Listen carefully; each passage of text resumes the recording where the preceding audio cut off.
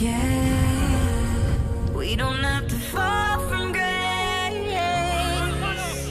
Put down the weapons you fight with and kill them with kindness.